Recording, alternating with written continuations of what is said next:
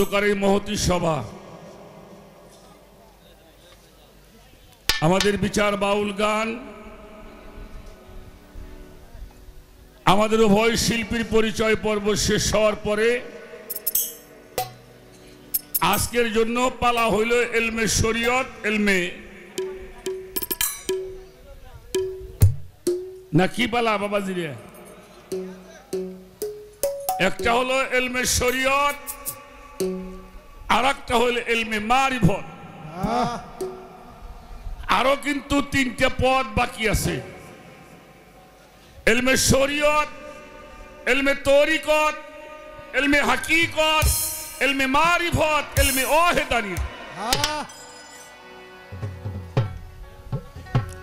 তো সেখানে মাত্র দুটি পালা আলোচনা হবে, এলমে শরীয়ত, এলমে মারিফত। শরীয়তের ভূমিকায় আমার বাবাজি, বাংলাদেশের অত্যন্ত সুনামধন্য গায়ক জসিম সরকার।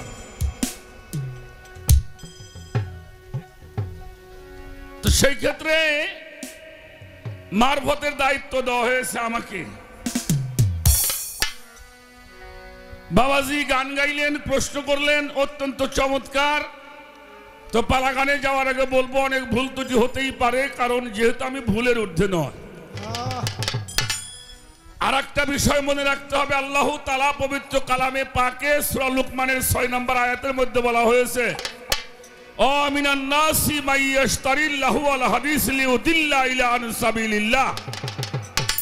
আল্লাহ রাব্বুল আলামিন বাজে আলাপ পছন্দ। পছন্দ করেন না। করেন আল্লাহ আল হাদিসের অর্থ হইল বাজে কথা অলিক গল্প। আবার যে ওনাকে মধ্যে কিছু আগ বাইরে মানুষ আছে, তারা আবার বাজে কথারে গান বানাই নিছে বেশি পণ্ডিত। তা আমারে কয়, শরীয়তের সব ইবাদত আমি করি, এরপরে আমার জান্নাতের ফয়সালা হবে, এরপরে ফকিরের দলে আমার যাওয়া লাগবে কেন? বাবাজি, আপনি আসলেও আমি খুশি, না আসলেও খুশি? কারণ আপনার পালা হইল শরীয়ত আমার পালা হইল মারফত। আপনি আইলেও ভালো না আইলেও ভালো। যদি আমি দলিল মাফিক বলি তাহলে অবশ্যই আপনি মানবেন আসবেন। ইনশাল্লাহ এটাই। কি? কই এত কিছু করুন ফকির কাছে দামুকে পালা তো ফকিরের না। পালা হইল তুমি শরীয়ত আমি হইলাম মারফতের ভূমিকা। দুইটি ধারা আমরা মানুষের মধ্যে বলব। এটা হাদিস কোরআন সম্মত ভাবে কোনটার কি কর্ম এটা আমাদের জানা দরকার নাকি? অবশ্যই জানা দরকার। একজনকে ফকিরে মানতে হইব এরকম কোন বিষয় এখানে নাই। একটা গান শুনলাম মানলে আইন হবি মমিন রাসুল হবে। সাফাদার।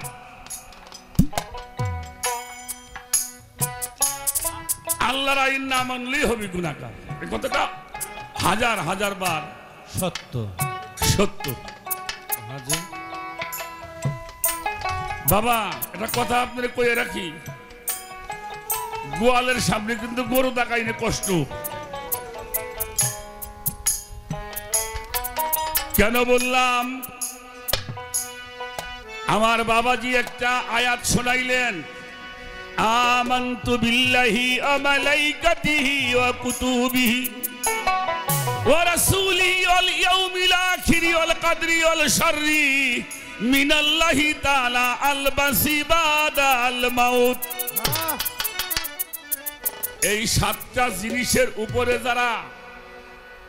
বিশ্বাস স্থাপন করল। তাদেরকে বলা হয়েছে মমিন এই- জায়গা হইলে আপনার কথা ভেজাল। হ্যাঁ এই জায়গাটা হইল ভেজাল। যা জানেন না তাই কবের যায়। আমান্তু বিল্লাহি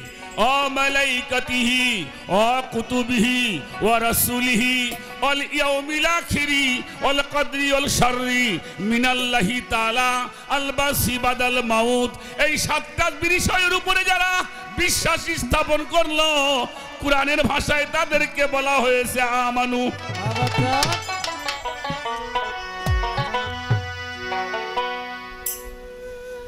আল্লাহ ডাক দিলেন ইয়া আইয়ুহাল্লাযীনা আমানু হাক্কা তুকাতিহি লা তামুতুন্না ইল্লা আনতুম মুসলিমুন হে আমানুগণ, খবরদার খবরদার, মুসলমান না হইয়া তোমরা কেউ কবরে আসিও না।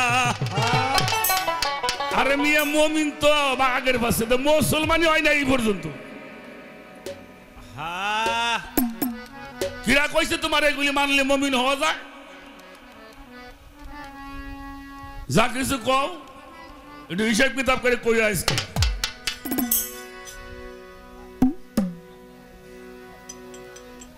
কয়, আমার পক্ষের লোক সবাই, কেন আপনারা ওনার পক্ষে সবাই কাপড় বইরে আইছেন? তাতে বোঝায় ফকিররা বুঝি ন্যাংটা হয়ে থাকে।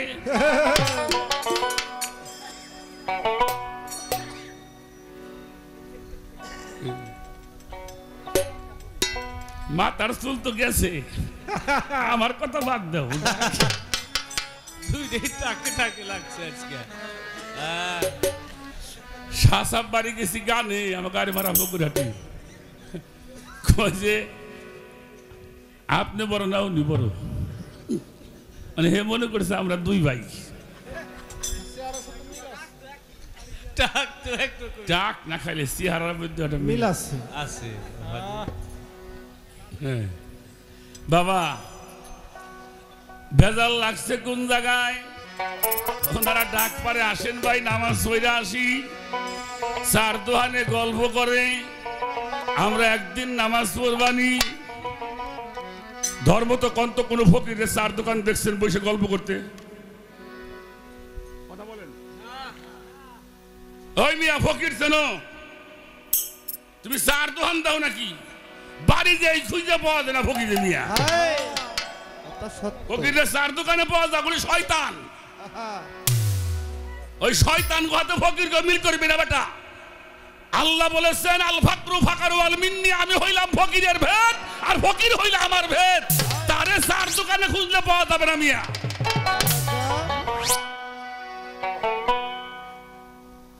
কি কও না কও? এটা বয়ে তুই খুঁজে চার দোকানে পাওয়া যায় না, ফকির সই দেখতে লাগছো। কি বাবা? হ্যাঁ? এটা বয়ে তুই চার দোকানে খুঁজে পাইনি আর ফকির রেউনি চার দোকানে বসে গল্প করতে দেখছে। শালার গাঁজা খায় সাজাহান নিশা হয়েছে তোর।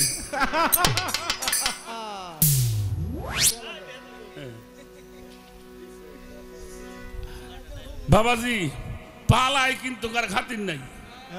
আমরা বাপ বেটা যাই পালায় কিন্তু আমি হ্যাঁ হ্যাঁ।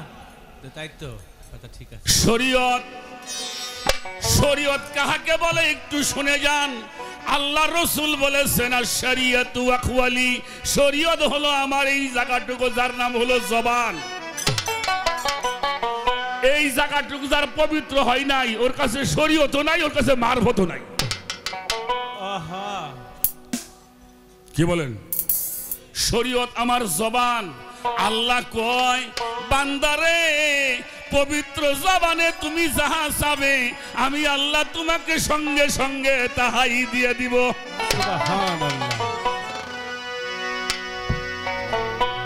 কো সারা বিশ্বের মুসলমানরা চাইলাম সাদ্দাম রে মাফ করে দাও। দিছে? কারণ আমাকে জায়গাটা তো ভালো না।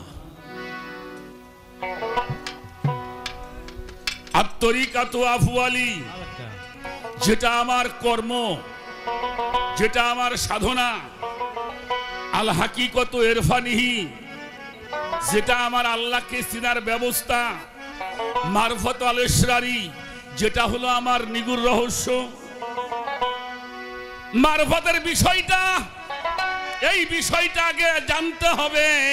আল্লাহ রসুল বলেছেন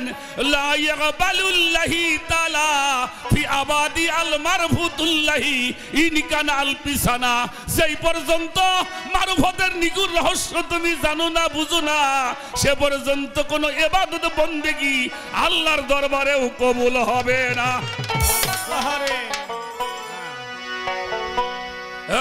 ফকিরি করতে দলিল লাগে মিয়া। দলিল জন্মাইছে ফকিরা মিয়া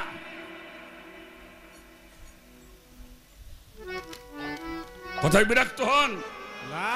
কে কয় আপনার নবী আমার নবী গাছের নবী মাছের নবী নূরের নবী আল্লাহর নবী মোহাম্মদুর রসুল আল্লাহ সকলে বলি সাল্লাল্লাহু আমার হুজুর বলেন মারফত ব্যতীত তোমার ইবাদত বন্দেগি আল্লাহর দরবারে কবুল হবে না।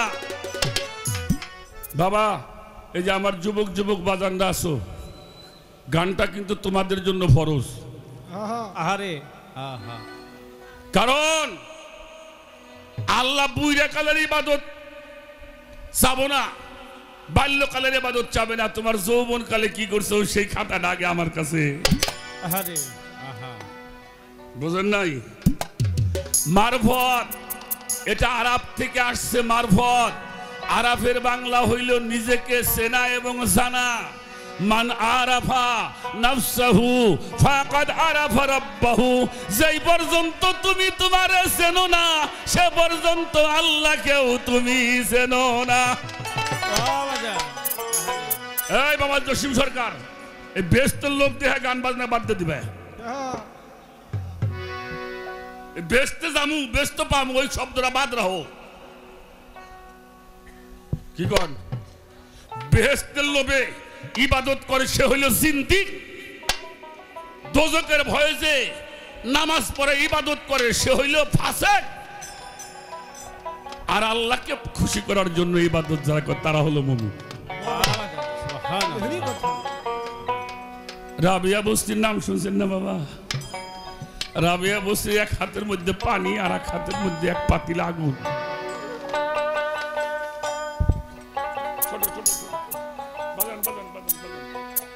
বাজান নড়াচড়া করিস না বাবা। বাবা, গানটা যদি আমি, এটা আমার পেশা। তারপরে অন্য মানুষের মতো পেশাটা আমার যেন না হয়।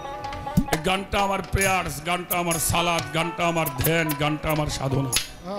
আমি গানের মাধ্যমে আমি আমার আল্লাহকে ডাকি। গানের মাধ্যমে আমি আমার রাসুলকে স্মরণ করি। গানের মাধ্যমে আমি আমার মুর্শিদকে ডাকি। যে টাকা দিয়ে কিনা যায় না। রাবিয়া এক হাতের মধ্যে পানি আর এক হাতের মধ্যে এক পাতিল আগুন। ভলেন্টিয়াররা একটু খেয়াল করবেন আমার কথার সময় যেন বাবা এটা বুদ্ধি করে বাড়িতে আসি নেই। কথার মালিক আর যে সমস্ত অলিদের নামের উপরে গান করতেছে তারা যদি আমাদের বলায় তাহলে বলতে পারব। বেটা। রাবিয়া বস্তি কয় জ্বালাইয়া দিমু। আবার কয় নিভাইয়া দিমু? একবার কয় জ্বালাইয়া দিমু? আবার কয় নিভাইয়া দিব রাত ভরে, রাত নাই, দিন নাই। মানুষে জিজ্ঞেস করে, এই রাবিয়া, তোর এক হাতের মধ্যে আগুন, এক হাতের মধ্যে পানি, তুমি বলো জ্বালাইয়া দিমু? তুমি বলো নিভাইয়া দিবা? এটা কি জ্বালাইতে চাও? আর কি নিভাইতে চাও? রাবিয়া বলল জ্বালাই দিমু হইল বেহেস্ত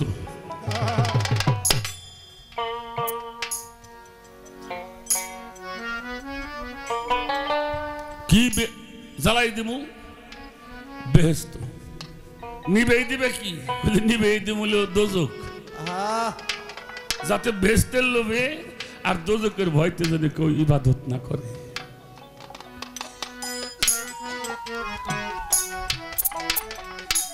আরাফের বাংলা হলো নিজেকে চেনা মান আরাফা নাফসাহু ফাকাদ আরাফা রাব্বাহু যেই পর্যন্ত তুমি তোমাকে চেনো না সে পর্যন্ত আল্লাহকেও তুমি তুমি চেনো না। চেনো না। এই চিনতে জানতে হইলে বাবা মারফতের রাজ্যের একজন মহামানব যিনি আল্লাহর সাথে লয়প্রাপ্ত হয়ে গিয়েছেন ওই মানুষটার কাছে গিয়ে এই বিষয়টা তোমাকে জানতে হবে। তো সেখানে দাঁড়িয়ে আগে একটা গান আমি শোনাই তারপরে নামাজ শরীয়তের ইবাদত। শরীয়তের ইবাদত তুমি আমার কি শিখাবে?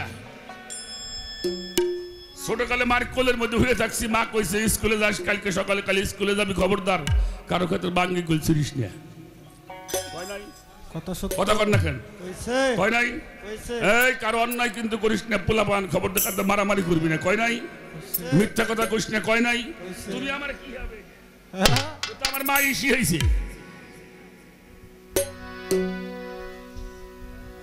আমার শরীয়তের নবী হইলে প্রথম আমার শরীয়তের ইমাম হইলে আমার মা আর বাবা। এরা হলো আমার শরীয়তের ইমাম। এরা আমাকে শিক্ষা দিয়েছে। জাহিরি এলেম শিক্ষার জন্য স্কুল, কলেজ, মাদ্রাসা, ভার্সিটি আছে, মাদ্রাসা, মসজিদ আছে। আর বাতনি এলেমটা শিখতে হইলে অবশ্যই একজন আল্লাহওয়ালা মানুষের সান্নিধ্যে আয়াতুকা নুখরা আসবাকা আলাইকুম নিয়ামাহু সাহিরু আল বাতিনান হ্যাঁ দুনিয়ার মানুষ, তোমাদের জন্য দুই প্রকার নিয়ামত দ্বারা পরিপূর্ণ করা হয়েছে। একটা হইল জাহিরি নিয়ামত আর একটা হইল বাতনি নিয়ামত, একটা হইল জাহিরি এলেম আর একটা হইল বাতনি এলেম। এই দুই প্রকার এলেম একটা স্কুল, কলেজ, মাদ্রাসা, ভার্সিটির মধ্যে শেখা যায়। যায় না? এটা শিখলে কি হওয়া যায়? ভালো মাস্টার হওয়া যাবে প্রফেসর হওয়া যাবে প্রিন্সিপাল হওয়া যাবে ওসি হওয়া যাবে এসপি হওয়া যাবে ডিসি হওয়া যাবে জজ হওয়া যাবে ব্যারিস্টার হওয়া যাবে মিনিস্টার হওয়া যাবে ডক্টর হওয়া যাবে বৈজ্ঞানিক হওয়া যাবে আল্লাহর অলি হওয়া যাবে না যাবে আর যদি আল্লাহ কয় বাতুনি নিয়ামতকে অর্জন করতে চাও আতি আল্লাহ আতি রসুল অলিল আমরি মিনকুম তাবেদারি করতে হবে আল্লাহর তাবেদারি করতে হবে আল্লাহ রসুলের তাবেদারি করতে হবে তোমাদের মধ্যে যাহারা অলি। অলি কিরা আমার মুর্শিদ আমার মুর্শিদ যেমনি সাধনা করতে কয় আমি সেইভাবে সাধনা করি। যদি কয় মুর্শিদ করে বসে থাক থাকব সে যদি কয় জঙ্গলে বয় আমি জঙ্গলে কত সত্য? দরবেজি লালন শাহ ফকির কি বলে? আমরা একটু খেয়াল করে। বাবারা বিরক্ত হন নাকি? আজকে কিছু খবর নতুন খবর আছে। এটা পরে পাবেন।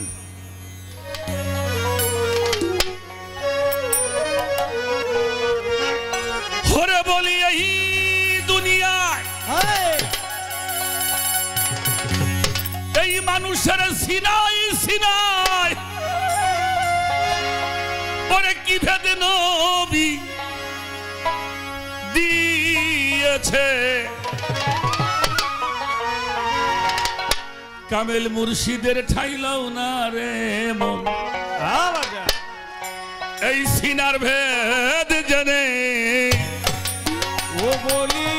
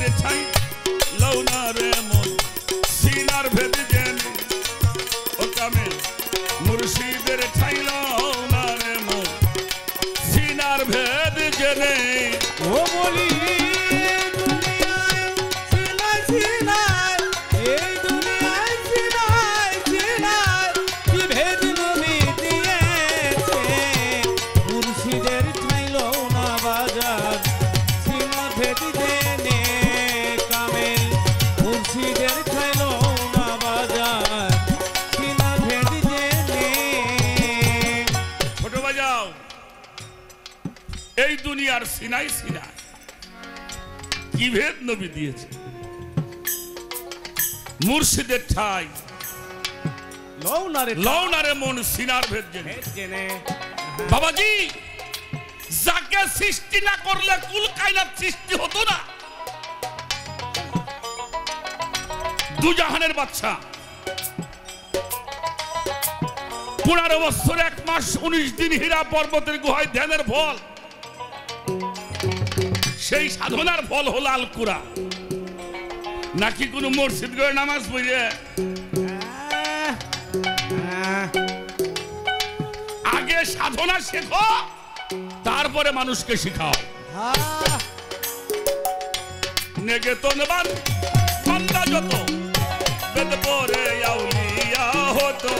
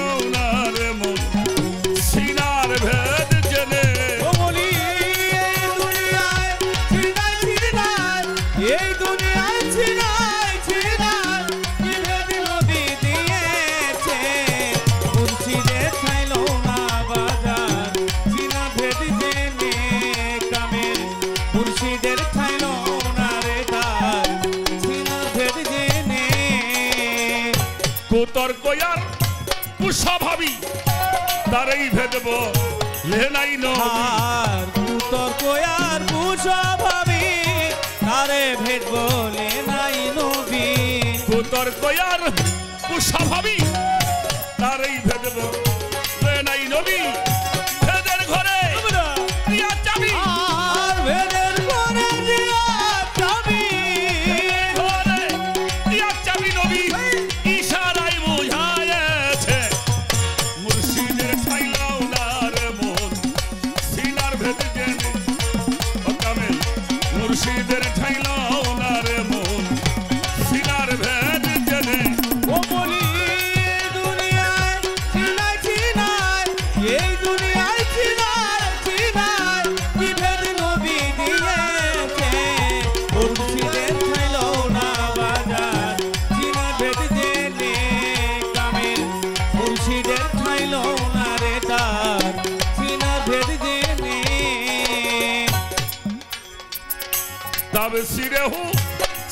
যার নাম তাই ধরে মোর নবীর কালাম হ্যাঁ,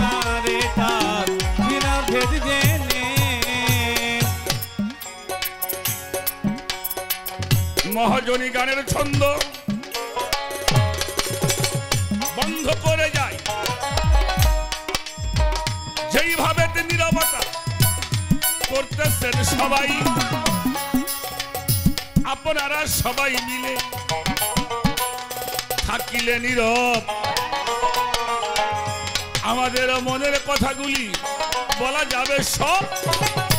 আপনারা সবাই মিলে করলে পরে দুয়া। তা হইলে হইতে পারে এভাবে গানে গাওয়া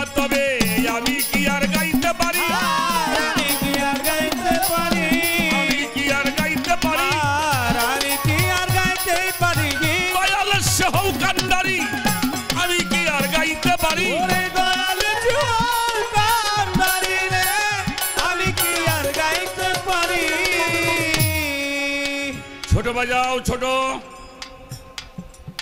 শরীয়ত সারা যে মারফত করে, তারে জ্ঞানী বলা যাবে না। আর মারফত ছাড়া যে শরীয়ত করে, তারও জ্ঞানী বলা।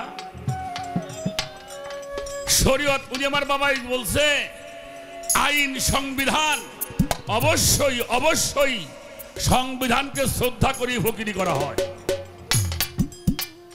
কারণ নবী রসুল অলিয়া উলিয়াদের কথা কোনোদিন কোনো ফকির অমান্য করতে পারে। পারে কিনা বাজান? পারে না। সেই জন্যে আপনি নামাজের কথা বলছেন। বাবা জসিম সরকার, কথাটা বললে অনেক বড় হবে রে বাবা। কারণ আমরা বর্তমান যে যুগ- যুগের মধ্যে বাস করি, সত্য কথা বলো বড় ভয়ের ব্যাপার।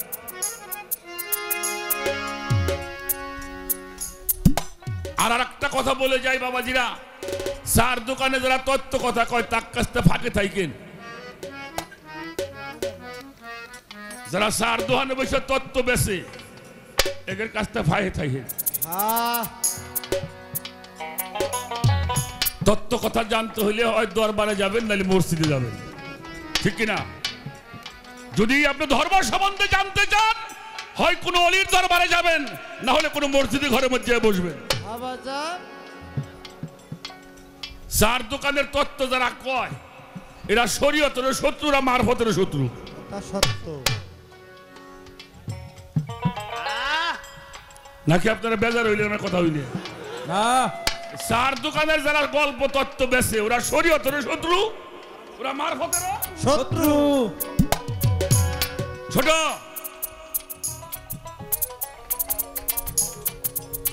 আমার বাবা আমারে কয় এ যারা কয় আমরা নামাজ একদিন পড়ুম। এ কথাটা তো মেরে ফেলাই দিও না বাবা। মানুষের জন্ম থেকে মৃত্যু পর্যন্ত একটা দিন। কি বলেন?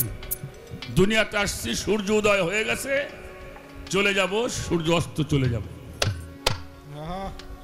তবে একটা কথা আছে বাবা। বড় পীর গাউসুল আজম মাহবুবে সুবাহানি কুতুবে রব্বানি গাউসে সামদানি গাউসুল আজম রৌশন জামির মহিউদ্দিন আব্দুল কাদির। জিলানি। উনি বলছে শরীয়তের নামাজ কিন্তু বাজান পাঁচক্ত আর একজন প্রকৃত তরিকতের লোকের নামাজ হলো সব সময়। একজন শরীয়তের লোকের রোজা হলো এক মাস। একজন তরিকতের মানুষের রোজা হলো আজীবন। আহা। আল্লাহ তালা কোরআন শরীফের মধ্যে পরিষ্কার করে বলছে ইন্নাল মুসাল্লিনা হুয়াল্লাযিনা সালাতিহিম দাইমুন।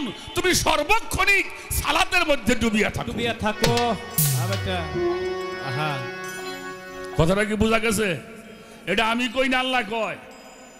আল্লাহ কয় সব সময় সর্বকালে সব সময়ের জন্য তুমি সালাতের মধ্যে ডুবিয়ে ডুবিয়া থাকো। কারণ সালাদ ব্যতীত কোনো মানুষ খারাপ পথ থেকে ভালো পথে যাইতে পারে। পারে না। ইন্না সলাতা তানহা আনিল ভাষা ওয়াল মুনকার। নিশ্চয় নিশ্চয় সালাত এমনই একটি বস্তু যা প্রত্যেকটি খারাপ কাজ থেকে মানুষকে ফিরে রাখে। তবে জসিম বাবা এই কথাটা কিন্তু বাজার সবার জন্য প্রযোজ্য না রে বাবা। বাবা। আমাকে দেশে কিছু মানুষ আছে যে কয় যে আমাকে একটা খারাপ কয় না। আইকে হুসিনে পাততে গলা বান্ধি আমি তার সব নাই তালিম নাই পীরের ভজন নাই গোলামি নাই উনি বড় একজন পণ্ডিত। আছে না? আছে। হ্যাঁ শরীয়ত সত্য পথের সন্ধান যিনি দিবেন তার কাছে অবশ্যই আপনাকে যেতে যেতে হবে। যারা এই ধরনের কয়, বাবা, আপনি ফকির গো, সেই দলে আপনি মাইফেন না। কারণ ফকির সবার জন্য নয়। আল্লাহ তালা সুরা মাইদার আটচল্লিশ নম্বর আয়াতের মধ্যে বলেছেন, তোমাদের জন্য দুইটি পথ রহিয়াছে। একটি পথ হলো শরিয়া। আর একটি হলো মিনহাস আমার খাস পথ এলমে তাসওয়া। হ্যাঁ। যেটা আমার পর্যন্ত সে পৌঁছিয়েছে, এটা বিশেষ বিশেষ ব্যক্তিবর্গের জন্য প্রযোজ্য। আমাকে এলাকায় একটা গ্যাঞ্জাম লাগছিল ভাই। এই যে, এই দিন পনেরো আগে, শুক্রবারের দিন আমাকে ইমাম সাহেব ফাতোয়া দিছে, জাগো মহির দাড়ি নাই, এরা বলে মুসলমান না। এক লোক যে কইল যে, এ কথা এনে কইসাক মসজিদ করে আমার হাতে ফরিদপুর যাবি, মোশারফ মেয়ের সামনে খারাই তুই কবি দিয়ে মানে আমার প্রধানমন্ত্রী যিনি বিয়ে ইঞ্জিনিয়ার মোশারফ শাহ। হ্যাঁ উনি স্থানীয় সরকার মন্ত্রণালয়ের সভাপতি এবং প্রেসিডিয়াম সদস্য। বলে তুই তো মসজিদ করে কইসাস ভালো কথা। আমার হাতে ফরিদপুর যাবি। তুই মোশারফ মেয়ের সামনে দাঁড়াই কবি। জাগো মহি দায়ী নেই তারা মুসলমান না। কইল ভাই এটা মসজিদ ঘরের মধ্যে কোয়া যায়? বোঝেন নাই কে? তাহলে সবার জন্য সবাই না। সব ওষুধ সবাই খাইতে পারবে না। হ্যাঁ বাচ্চা। পারবে? একটা ছয় মাসের বালককে যদি একটা মুরগি রান তুলে দেওয়া হয় খাইতে পারবে? ও তো আর বিপদে পড়ব। হ্যাঁ। কাজেই মারফতটা তো হস্তা জিনিস না মারফত হলো বিশেষ বিশেষ ব্যক্তিবর্গ যারা যারা আল্লাহর পরিষদের মানুষ যারা আল্লাহর পরিষদের মধ্যে স্থান হয়েছে তাদের জন্য হলো এলমে মারফত।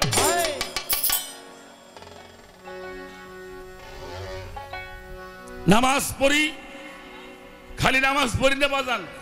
আমি নামাজের হাতেই থাকি। নামাজ আমার ধ্যান নামাজ আমার ঘুম নামাজ আমার খাওয়া নামাজ আমার চলা নামাজ আমার বলা নামাজ আমার ধ্যান নামাজ আমার আত্মা সব কিছু হলো আমার নামাজ। তুমি পাঁচ তো বড় বাজান আমার এক মুহূর্ত কামাই দেওয়ার কায়দা নাই। তুমি কি কাউ কইও আমারে। ওই কোন সার দোয়ানে কইছে করে হেটা তুমি বাদ দাও। আমার হাতে কথা কও। চার দোকানে মেড ইন চায়না মাল। টিকলে মেলা দিন না টিকলে নাই। ওই তো তোমার বাইক হয়ে দিছে ওটা আমি আর কইলাম না। শরীয়তের সব ইবাদত করেন।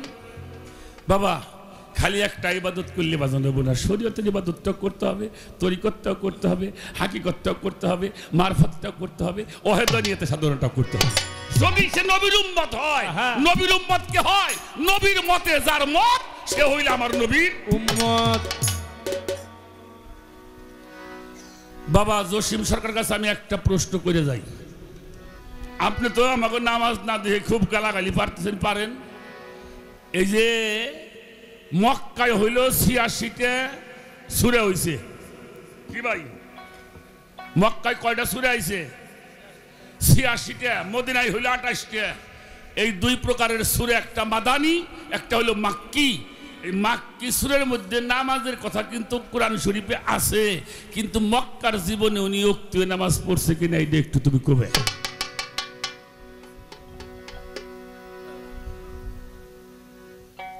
এই যে উক্তীয় নামাজ পাঁচ উক্ত, এটা মক্কার জীবনে করছে কিনা? এক, দুই নম্বরে, উনি হল আল্লাহ রসুল সমস্ত এলেমের সর্দার। উনি হীরা পর্বতের গুহায় যে ধ্যান করলেন, তখন তো কোনো সুরাই নাজিল হয় নাই না হয়েছে কথা বলেন না কেন? হয়েছে তা যদি না হয়, সেই সাধনায় যদি কোরআন লাভ করা যায়, তখন সুরেও নাই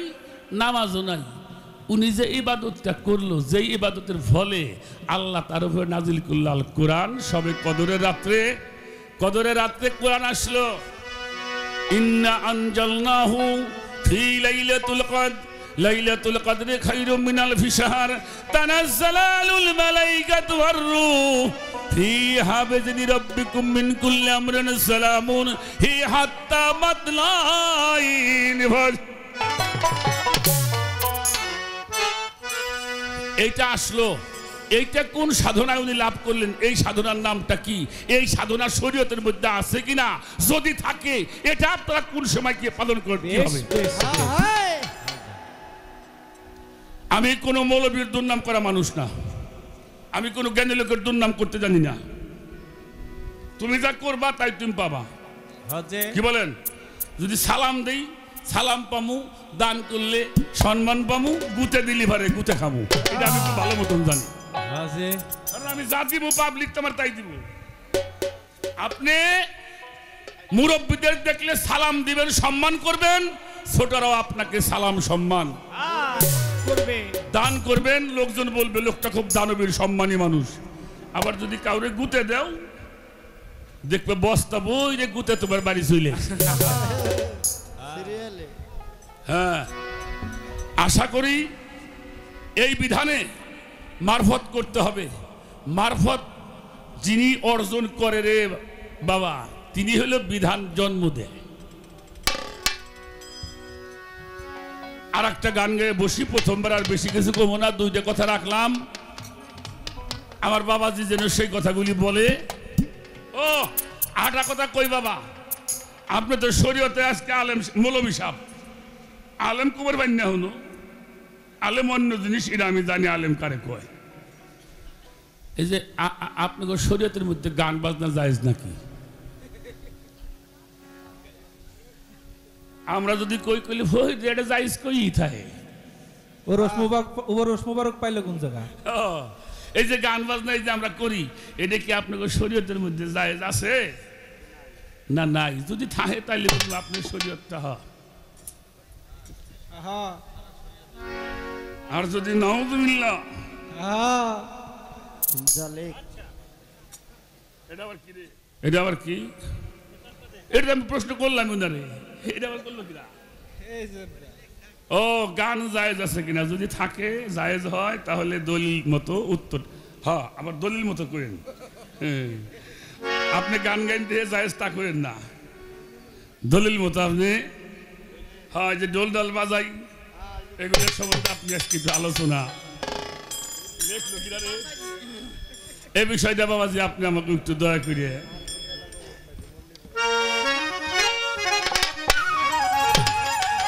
সর্বদিকে হেরি খুদা দিকবে দিগার আমার নাই। ওরে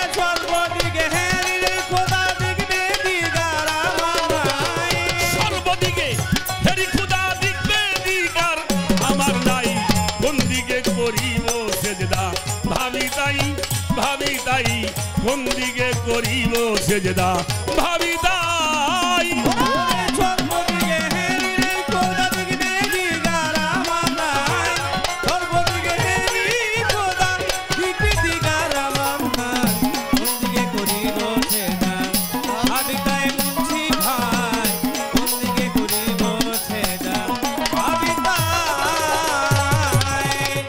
সাবধান গান বুঝতে হবে।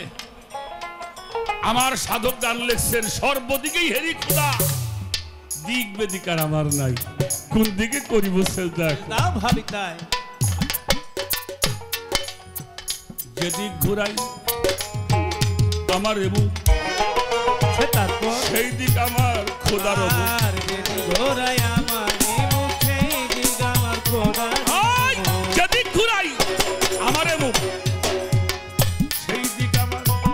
খোদার মুখ।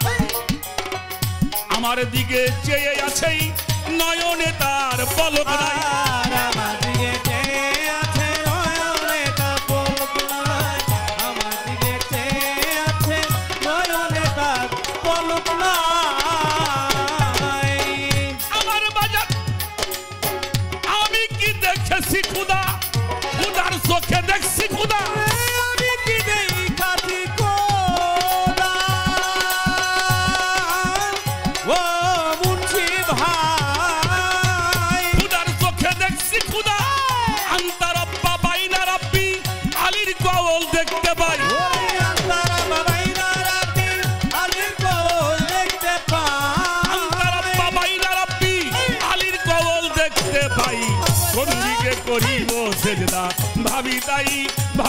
ভাবি তাই কোন দিকে করিব সেজদা।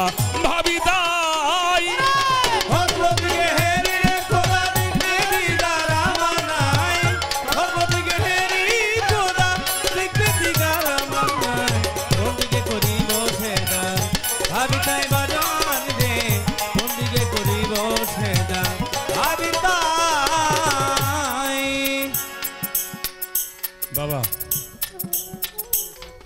যিনি উস্তাদ, আমার বাজান সাধক আইনাল মিয়া। ওনার যিনি মুর্শিদ কেবলা, আমার সিটকা শরীফের সুপি জীবের মহাসাধক, দেওয়ান আব্দুল আজিজ আল সিস্তি নিজামি রহমতুল্লাহ আলাইহি। আমার দাদা হজরতের এই গজলটা, সর্বদিকে হেরি খোদা, দিক বেদিকার আমার নাই, কোন দিকে করিব সেজদা?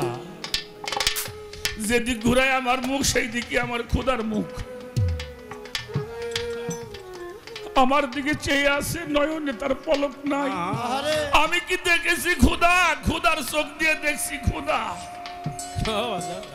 আন্তা রব্বা বাইনা রব্বি মাওলা আলীর কৌল জানতে।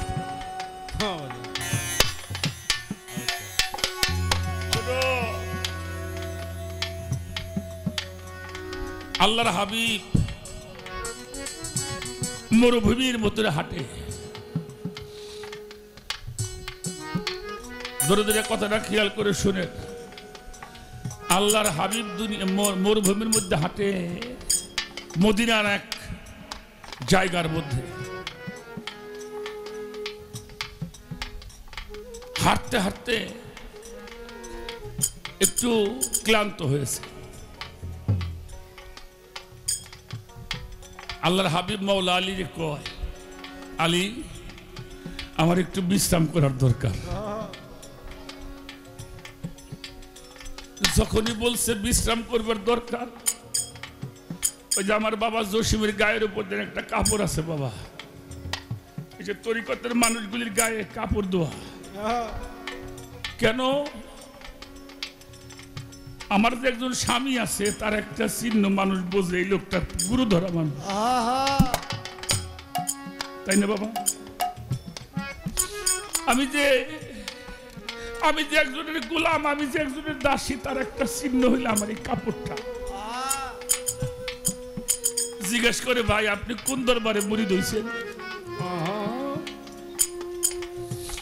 আর একটা বিষয় আছে বাবা, এই কাপড়টা রাখি কোন সময় যেন আমার মুর্শিদ আমার সাথে দেখা হয়। কিছু না হইলে গাড়ি কাপড়টা বিছিয়ে দিয়ে তার একটু বসবের মতো ব্যবস্থা। আমার মালিক যদি কাপড়টার বইস- উপরে বসে, আমার জীবনটা ধন্য হয়ে যাবে। মাওলা কাপড়টা বিছিয়ে দিছে বাবা। বিছিয়ে দেওয়ার পরে নবীজি ওখানে যে শুয়ে পড়ছে। যখন শুয়ে পড়ছে, মাওলা আলী চিন্তা করে, আমার হুজুরের মাথার নিচে কোনো বালিশ নাই, উনি বইসে ওনার উরুটা ওনার মাথার নিচে। অর্থাৎ নবীজির মাথাটা মাওলা আলীর কোলের মধ্যে নিয়ে বসে আছেন। আর নবীজি ঘুম পাড়তেছেন আর মাওলা আলী নবীজির খেদমত করতেছে মহব্বত করতেছে আর মহব্বতের চোখের পানি ফুটায় ফুটায় নবীজির গায়ের মধ্যে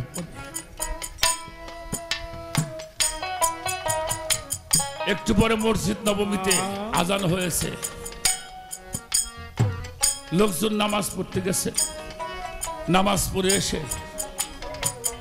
বের হয়ে দেখে একটা খেজুর বৃক্ষের নিচে মাওলা আলী বসা। কে যেন কোলের মধ্যে শুয়ে আছে। লোকজন যায় দেখে নবীজি আলীর কোলের মধ্যে ঘুমা। লোকজন জিজ্ঞেস করে, আলী, আজান শোনো নাই? বলল, শুনছিলাম তো। তাহলে নামাজ পড়তে গেলে না কেন? মাওলা আলী বলল আন্তা রব্বা বাইনা রাব্বি। নামাজ আমার কোলের মধ্যে ঘুমাই রয়েছে আমি কোথায় নামাজ পড়তে গেলাম? আরে।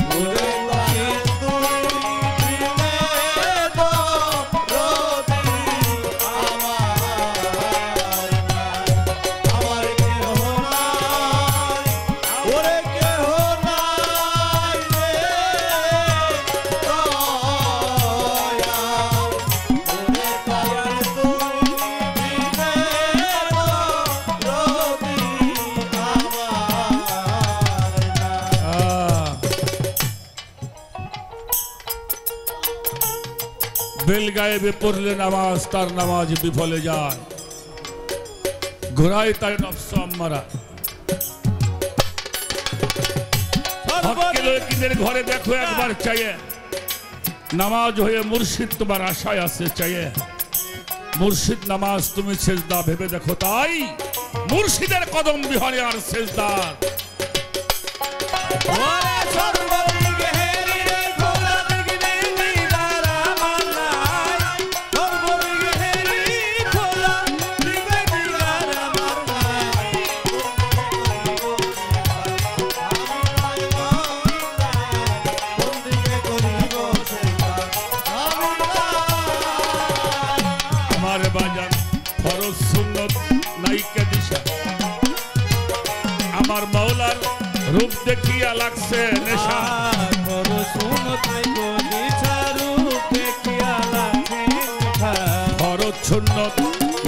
मेरा रूप देखिया लक्ष्य बेबोर हो होइया।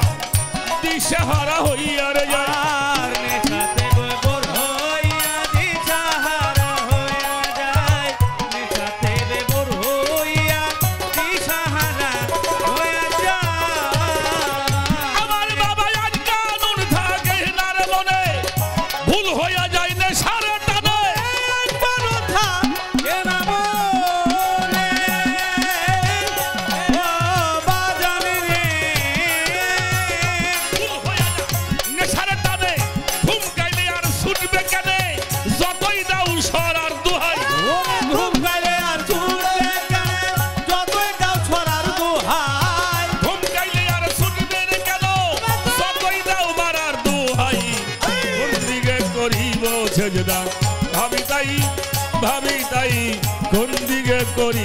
सजदा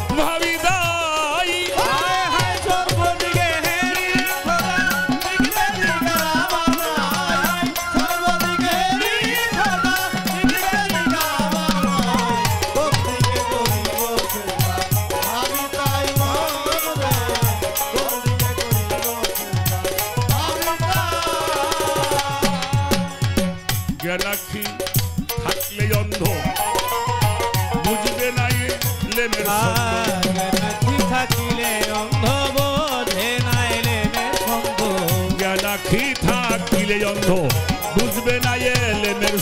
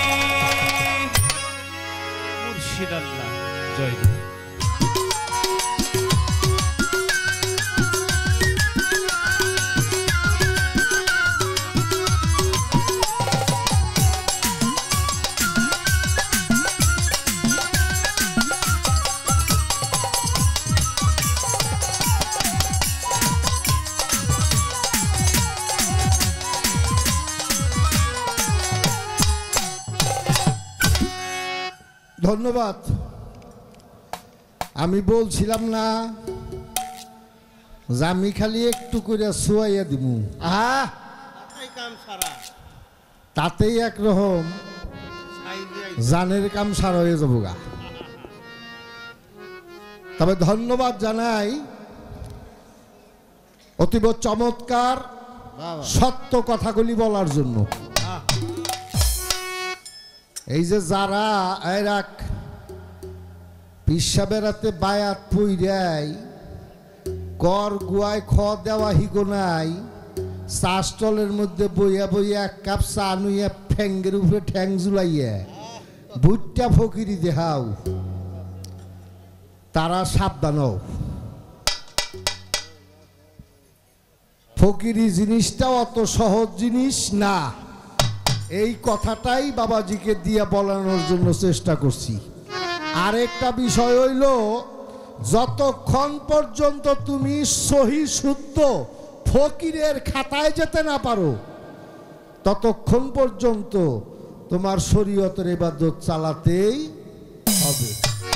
আর শরীয়তের এবাদত এমন কোনো জিনিস নেই যেটা ছয় মাস করলাম তারপরে আর হারা জীবন না করলেও চলবো। এটা ছয় মাস এবাদত না। বিষয়টা হইল প্রথম কথা আর শরীয়ত আকোয়ালি জবানকে সত্য করো। সত্য জবান এটা হলো প্রধান শরীয়ত। এই জবান সত্য এটা কি হারা জীবনের জন্য নাকি ছয় মাসের লিগে?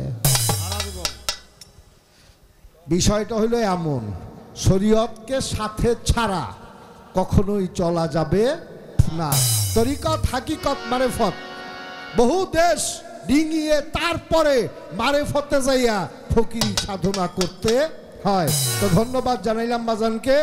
তো বিষয়টা হইল এই রাখ এই গানের দলিল আমি হইলাম শরীয়তের আলেম। আমার পক্ষের থেকেই তো লেখা পাঠাইছে। তাই না? ওরা যারা লেখা পাঠাইছে ওরা আমার পক্ষের থেকে পাঠায় নাই। হ্যাঁ। আজকে তোর আমি বয়তি না আমি তো গায়ক না আমি আমি শরীয়তের আলেম। ওয়ালাইকুম আসসালাম। আমি যদি কই তাহলে আমার পক্ষের কথা কবে যারা কবই। বিষয়টা তাই না? বিষয়টা হলো তাই। এটা বাজারের গম লাগবো। হ্যাঁ ফকির গান বাজনা করে কে? ডোল ডকর বাজায় কে? এগুলো জায়েজ আছে কি না? আমি তো ঢোল বাজাইতাছি না। হ্যাঁ। আমি হইলাম মুন্সি। আমি ঢোল বাজামু কে। ওরা পোলাফানে বাজাইতেছে আমি তো বাজাই হ্যাঁ বিষয়টা হলো এমন তো বাজানো ওইটা আপনার কাছে। তো এইবার দুটি গান একটা গান হলো মক্কার জীবনে। আমার দয়াল নবী পাঞ্জেগানা পাঁচ আক্ত নামাজ পড়েছে কিনা। মক্কায় বিরাশিটি ছুরা নাজেল হয়েছে এর মধ্যে পাঞ্জেগানা পাঁচ আক্ত নামাজ সম্পর্কে আছে কিনা। দয়াল নবী হেরা পর্বতের গুহায় যে ধ্যান সাধনাটা করলেন, এই সাধনাটা এখন আমরা কীভাবে করব, কীভাবে করা যাবে? চমৎকার একটি কথা। আর একটি কথা হইল, কোন দিকে করিব সেজদা? সব দিকেই আমার আল্লাহ তাহলে সেজদা করব কোন দিকে? আল্লাহ সব দিকে থাকলেও কাবাকে কেবলা করে সালাত আদায় করতে হুকুম করা হয়েছে। এটা আল্লাহই করে দিছে। এটা আমিও করি নাই, আমার বাবাও করে নাই, আমার তাওইও করে নাই। কাবা ছিল বয়তুল মোকাদ্দাস। বর্তমান যেটা জেরুজালমের মধ্যে ইসরায়েলের মধ্যে যেই কাবাটা বয়তুল মোকাদ্দাস, এই বয়তুল মোকাদ্দাসকে লক্ষ্য করে দয়াল নবী নামাজ আদায় করতেন। নামাজ আদায় করতে করতে হিজরতের দ্বিতীয় সাল, হিজরতের দ্বিতীয় সাল জোহর কিংবা আসর ওয়াক্তের নামাজ উনি সাহাবা নিয়ে দাঁড়াইছে। সাহাবাদের নিয়ে দাঁড়াইছে দ্বিতীয় রাকাত। প্রথম রাকাত শেষ হয়ে গেছে, দ্বিতীয় রাকাতে জিব্রাইল আইসা আমার দয়াল নবীর কানে কানে বললেন, হুজুর, আপনি বয়তুল মোকাদ্দাসের দিক থেকে মুখ ঘুরিয়ে কাবায়, খানায় কাবার দিকে মুখ করে নামাজ আদায় করুন। দয়াল নবী ঘুরিয়া দাঁড়াইছে। দয়াল নবী যখন ঘুরছে তখন সাহাবারা তো আর বসে থাকতে পারে না। সাহাবারাও ঘুইরা মক্কাকে কাবা বানাইয়া নামাজ পড়ার পরে দয়াল নবীর কাছে সাহাবারা জিজ্ঞাসা করলেন ইয়ারা আল্লাহ আপনি এই দিকে মুখ ঘুরাইলেন কেন? আমার নবী বলল, সাহাবারা, আমার মনের মধ্যে একটা সুপ্ত বাসনা ছিল। আদম থেকে যেই কাবাকে, মুসা ইসাদ থেকে যেই কাবাকে প্রতিষ্ঠা করা হয়েছে, আদম যেই কাবাকে প্রতিষ্ঠা করল, ইব্রাহিমে খলিল যার সংস্কার করল, সেই কাবার দিকে যদি আল্লাহ মানে হুকুম দিত, তাহলে আমার মনে খুব শান্তি পেতাম।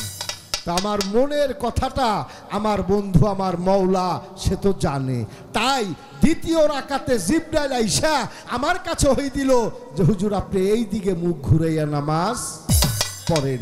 তাই আমি এই দিকে মুখ ঘুরালাম। আজকের থেকে খানায়ে কাবাই হইল তোমাদের কেবলা। এই খানায়ে কাবার দিকে মুখ করেই তোমরা নামাজ আদায় করবে। তাই কাবার পশ্চিমে যারা, তারা পূব দিকে দাঁড়ায়। আমরা কাবার পূবে পশ্চিম দিকে দাঁড়াই। যারা উত্তরে, তারা দক্ষিণ দিকে দাঁড়ায়। যারা দক্ষিণে, তারা উত্তর দিকে দাঁড়িয়ে নামাজ আদায় করে। এটা হলো আমার শরীয়তের কেবলা কাবা সম্পর্কে দলিল। তো সেই দিকে যাইতে হবে। কেবলা সেজদা করতে চাইলে আল্লাহকে উদ্দেশ্য করে সেজদা করতে চাইলে একটা সংবিধানের মধ্যে দিয়া তারপরে তাকে সেজদা করতে আল্লাহ যেভাবে হুকুম করেছে, যেভাবে আইন করেছে, যেভাবে যা করে দিয়েছে, সমস্ত কিছুই ফরজ। আল্লাহর হুকুম ফরজ। আল্লাহর হুকুম ফরজকে তরক করলে, ফরজ তরক করা তো দূরের কথা। যারা শরীয়তের পাবন্দি করে, যারা তরিকতের পাবন্দি করে, যারা মারেফতের পাবন্দি করে, তারা রাসুলের একটা সুন্নতকেও সুইটা যাইতে প্রমাণ ইমাম আবু হানিফা রহমাতুল্লাহ রায় উনি কয়েকজন সাহাবা নিয়া, লোকজন নিয়া রওনা হয়েছে তারবের মধ্যে তো রৌদ্রি, প্রচণ্ড গরম। এই গরমের মধ্যে প্রচণ্ড দুপুরবেলার তাপমাত্রা উঠে গেছে পঁয়তাল্লিশ ডিগ্রি, প্রচণ্ড রোদ। তো একটা বিল্ডিং, তো বিল্ডিংয়ের বেড়াটা হেরে গেছে, ছায়াটা পড়েছে এই দিকে তো সাহাবারা গিয়া বলতেছে, হুজুর, তাড়াতাড়ি এই ছায়া আসেন, এইখানে দাঁড়িয়ে একটু আরামায়েশ করে রেস্ট নিয়ে তারপরে যাব। ইমা বাবা হানিফা রহমতুল্লাহ বলল, বাবা, তোমরা তো খুব ক্লান্ত হয়ে গেছো, তোমরা গিয়া ওই ছায়ার মধ্যে দাঁড়াও। ছায়ার মধ্যে দাঁড়িয়ে তোমরা একটু জিরিয়ে নাও, আমি ওই ছায়ায় দাঁড়াতে পারব না। তো সাহাবারা বলতেছে, হুজুর, বিল্ডিংয়ের ছায়া পড়ছে, রোদ্রি এই ছায়ায় দাঁড়াইলে অসুবিধা কি? এবার বাবু হানিবা রহমতুল্লাহ বলল, বাবা, তোমাদের জন্য কোনো অসুবিধা নাই, কিন্তু আমার জন্য একটু অসুবিধা আছে। আপনার জন্য কি অসুবিধা হইতে পারে? একটা বাড়ির ছায়া পড়েছে সূর্যের আলোতে, সেই ছায়ায় দাঁড়াইলে কি অসুবিধা হবে? মামা অবনীবা রহমতুল্লাহ বললেন, বাবা রে, এই বিল্ডিংয়ের যে মালিক, সে আজ থেকে কয়েকদিন আগে আমার কাছ থেকে দশ হাজার দিনার হাওলাত এনেছে কোনো প্রয়োজনে আমার কাছ থেকে দশ হাজার দিনার হাওলা এনেছে তা এখন যদি আমি তার বিল্ডিংয়ের ছায়ায় দাঁড়িয়ে আরাম করি, একটু সুখ ভোগ করি, তাইলে এইটা কি আমার ওই টাকার সুদের খাতায় যায় না? চিন্তা করেন, কত বড় হিসাব তাদের? আমার কাছ থেকে টাকা ধার নিয়েছে, আমি যদি ওই বিল্ডিং এর ছায়ায় দাঁড়িয়ে একটু আরাম করি, তাহলে আমার এই আরামটা কি? ওই টাকার সুদের খাতায় যায় না? তাই বাবা, তোমরা দাঁড়াও, আমি দাঁড়াবো না। বাবা রে, ধর্ম জিনিসটা অত সহজ জিনিস না, খুব কঠিন জিনিস। পীরের পায়রবি করবেন, করতে হবে, করেন। কিন্তু শরীয়তকে ঠিক রাইখা শরীয়তের সাধনা, কর্মকাণ্ড, জীবন বিধান পরিচ্ছন্ন করে আপনি তরিকতদের রাস্তায় হাঁটেন। তরিকতকে অগ্রসর হয়ে হাকিকত, তারপরে মারফতের দিকে যান। সরাসরি মারফতে যেতে চাইলে আপনি কখনোই তা পারবেন না। যেই কথা আমার বাজান বলেছে, এক হাতে বেহেস্ত এক হাতে দেজক। রাবেয়া বস্তি বলেছিল, আমি জান্নাতকে পানি দ্বারা নিভিয়ে আগুন দ্বারা জ্বালিয়ে দেব আর দোজককে পানি দ্বারা নামিয়ে নিভিয়ে দেব। এই রাবিয়া বস্তি তাপসী রাবিয়ার নাম। এর নাম তাপসী রাবেয়া। বাড়ি ঘর ছিল না, টাকা পয়সা ছিল না, ধন দৌলত ছিল না, স্ত্রী, কন্যা, সন্তান কিছুই ছিল না। রাবেয়া বশ্রী শুধুমাত্র এক আল্লাহর প্রেমেই পাগল। এরা হলো মজুর এরা হলো পাগল ধামের মানুষ। যারা মজুব সালেক হয়ে মৌলার নামে সমস্ত কিছু বাদ দিয়া আল্লাহর রাস্তায় বার হইয়া গেছে, আল্লাহর রাস্তায় পাগল হয়ে গেছে, পাগলের জন্য আমার কোনো শরীয়তের আইন নাই। পাগলের জন্য আমার কোনো শরীয়তের আইন নাই। পাগলের জন্য কোনো আইন কাজ করে না। কিন্তু যেই লোক সমাজ সংসারে থেকে সামাজিক জীবন যাপন করে সমস্ত কিছু করবা তুমি বিয়াও করবা দুইটা তিনটা। পোলা ভানো আছে পাঁচ সাতটা। জমিও বিষপাহী আছে গাড়ি বাড়িও আছে খেত খোলাও আছে। ব্যাগ ঠিক মতো কইরা নামাজ পড়বার কইলে খালি কবা যে নামাজ পড়ব একদিন। তোর এই নামাজে কাজ হব না। আমার বাবাজি বলছে, না, একদিন হইল জন্মের থেকে মৃত্যু পর্যন্ত। এটা হইল আমার একদিন। আর পৃথিবীর দিনে প্রতিদিন হইল পাঞ্জে গানা পাঁচ ওয়াক্ত নামাজ। এই নামাজের মধ্যেই কহুতরের সাধনা আল্লাহ রাছুল রেখে গেছে। নামাজের মধ্যেই সেই কহুতরের সাধনা আল্লাহ রাছুল পথ দেখিয়ে গেছে। আচ্ছা বাবা, আমার রাসুলের কি সাধনা করার দরকার আছিল গো? না। আমার নবীর কি কোনো সাধনার দরকার? এগুলো হলো আমাদের শিখানোর জন্য, শিক্ষা দেওয়ার জন্য, জীবকুলকে মুক্তির রাস্তা প্রশস্ত করার জন্য। উনি সমস্ত বাদতগুলি দেখিয়ে গেছেন। তো সেখান থেকে দাঁড়িয়ে মক্কায় দয়াল নবী পাঞ্জাগানা পাঁচ অক্ট নামাজ পড়েন নাই। কারণ মক্কার জীবনে তখন এই পাঞ্জেগানা পাঁচ ওয়াক্ত নামাজ ফরজ হইয়া আসে নাই। পঞ্চাশ বছর, তিন মাস, দুই মাস, সাতাইশ দিন বয়সে যখন দয়াল নবী মেরাজে গেলেন, মেরাজ থেকে এই পাঞ্জেগানা পাঁচ ওয়াক্ত নামাজকে আল্লাহ ফরজ করে দিলেন। পঞ্চাশ অক্ত দিছিল, কমাইয়া পাঁচ ওয়াক্ত। বারো মাস রোজা, কমাইয়া এক মাস। এইভাবে পর্যায়ক্রমে সে কমিয়ে দিয়েছে। এখন পাঁচ ওয়াক্ত পড়লেও আল্লাহ বলেছে, আমি সত্যিকারী নামাজি হলে আমি তাকে পঞ্চাশ ওয়াক্তের সবই দান করব। এক মাস রোজা করলে আমি ওই বান্দার আমল নামায় বারো মাস রোজা রাখার ছোয়াব দান করব। বিষয়টা হইল এমন তাই আমার দয়াল নবী পাঞ্জেগানা পাঁচ ওয়াক্ত নামাজ যতক্ষণ ফরজ না হয়েছে ততক্ষণ উনি পড়েন নাই তখন চলেছে অন্য হিসাব তৌরাত জব্বুর যে আইনগুলি ছিল, আল্লাহর কোরআন যে বাদেও চারটা কোরআন, তৌরাত জব্বুর ইঞ্জিল ফোরকান। এই চারটা কোরআন পূর্ববর্তী নবীদের মাধ্যমে যে হিসাবগুলো আসছে, এই হিসাবে উনি চলেছে এবং তখনও নামাজ ফরজ হয় নাই। তো বিষয়টা হলো এমন, তো এবারে আরেকটি গান রাখব। হেরার সাধনা, কীভাবে কি অবস্থা? এই গানটার মধ্যেই বাজান মোটামুটি পরিষ্কার হয়ে যাবে। গানটাকে আপনি লক্ষ্য করে শোনেন।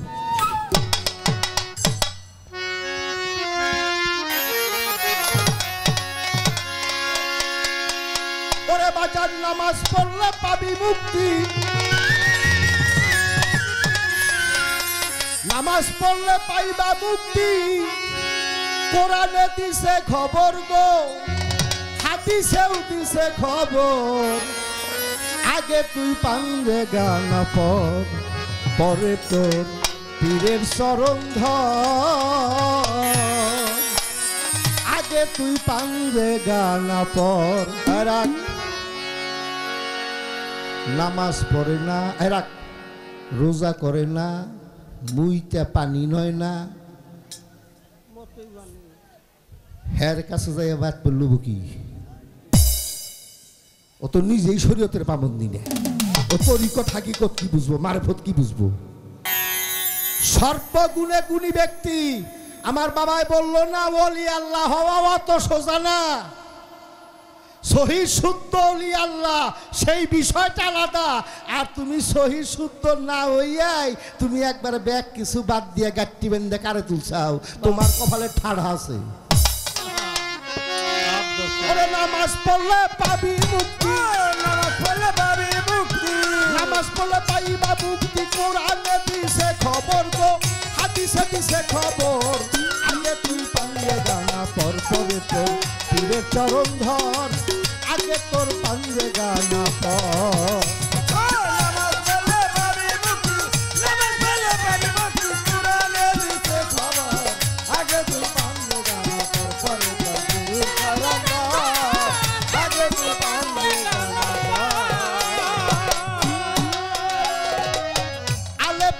দাঁড়াইয়া হে হরপে রুকু দিয়া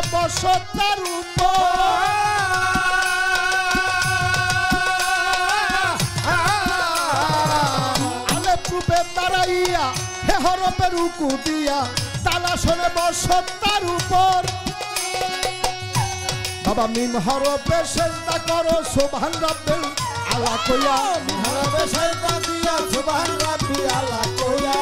হরপে সেজদা দিয়া সোভান রব্বের আলা কইয়া সামনে সাইয়া দেখ রে কাবা ঘর। আগে তুই পারলে পর করে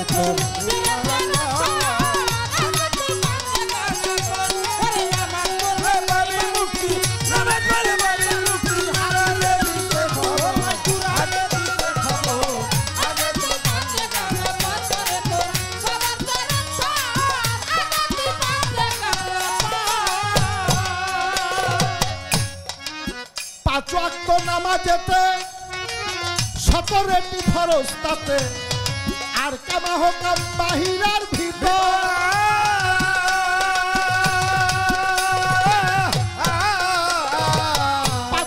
নামাজেতে সতেরোটি ফরজ তাতে আর কামা হোক বাহিরার করলে নবী খুশি না ফলে তেলে কি বেশি? করলে নবী খুশি না ফলে তেলে কি বেশি? সুন্নত করলে নবী খুশি না ফলে তেলে কি বেশি? নবী নামাজ পড়ি তো পেত আগে তুই কান্দে গানা করে তো।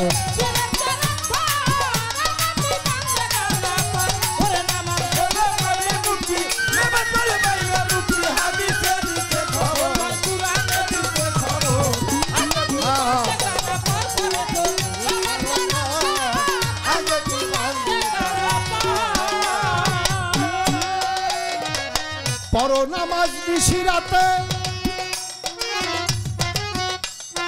দেখা হবে তাহার যতে কলবেতে হবে তোর খবর।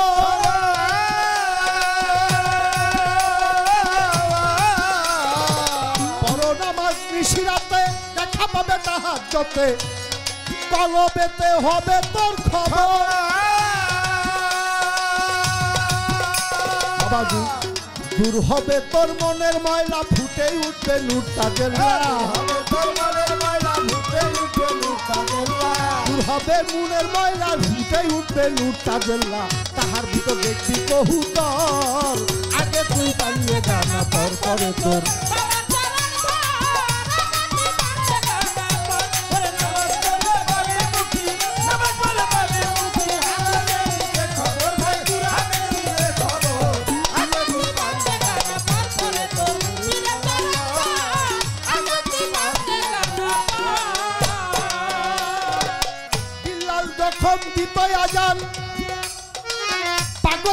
সব মুসলমান। বলতো যখন আল্লাহু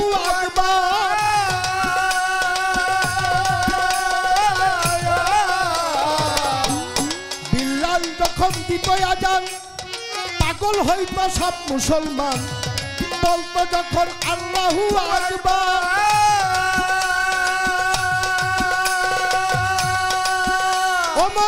তুমি কেন রইলা? ঘুমে আয়ু বেলা এলো কমে।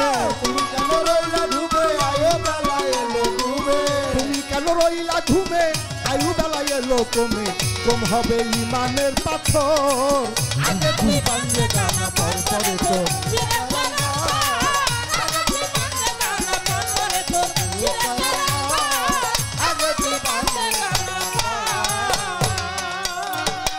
জন্ম হতে আজ অবধি কয়টা নেকি কয়টা বদি আমল নিজেই হিসাব করা।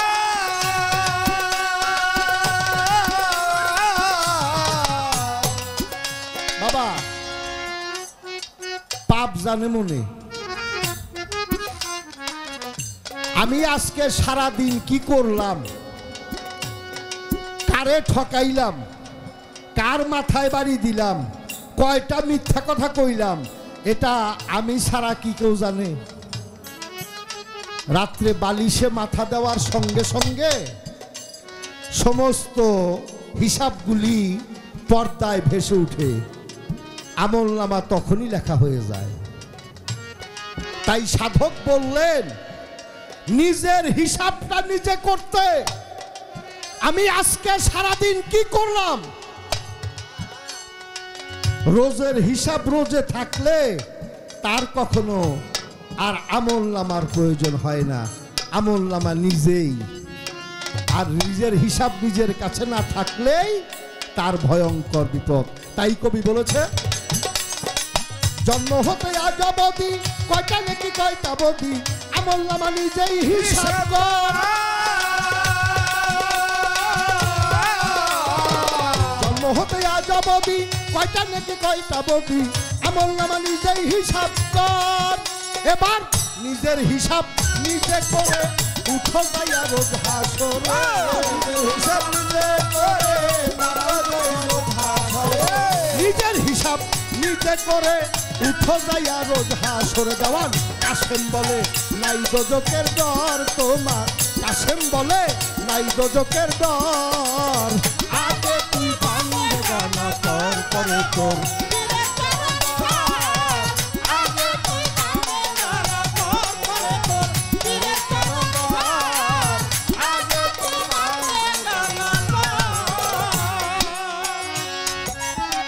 নীরব থাকেন, ধৈর্য ধরেন, ওহে বন্ধুগণ। দুই দুজনে মিলে করলাম ভাবের আলাপন। আমার কাছে যে প্রশ্ন আমার শরিয়ত অনুসারে, দলিল অনুসারে যেই জবাব আমি আমার বাজানকে দিলাম। বাজান, এইবার একটু মারে ফতরিলেম সম্বন্ধে শুনব। আমার বাবা সব সময় সালাতের মধ্যেই ডুবে আছে। পায়খানা প্রস্রাবের সময়ও নাই, তখনও সালাতে থাকে। অবাজান আমরা যখন নামাজে দাঁড়াই, তখন যাই নামাজে দাঁড়িয়ে দোয়া পাঠ করি যেহেতু আজহেল্লাজি ফাতারা সামা ওয়াতলার হানিফা ওয়ান আমিনাল মুশরিকিন। এরপর সানা পড়ি। ছানা পড়ার পরে নিয়ত বান্দি। নাই তোয়ানা উসাল্লিয়া লিল্লাহি রাকাতায় সালাতিল, ফজরে ফারদুল্লাহে তালা মুতুয়াত জিহান ইলা জিহাতিল কাবাতে শরীফাতে। আল্লাহু আকবার। এইরকম আসরে ফজরের দুই রাকাত ফরজে শূন্যতে নিয়ত আসরের চার রাকাত ফরজের নিয়ত এইভাবে ভাগ ভাগ করার নিয়ত আছে। ও বাবা, আপনারা যে যেই নামাজ পড়েন যেই নামাজে আর কোনো দিনই কোনো কিছু দরকার পড়ে না। আচ্ছা এই নামাজ কি নিয়ত দিয়ে শুরু করছেন গো?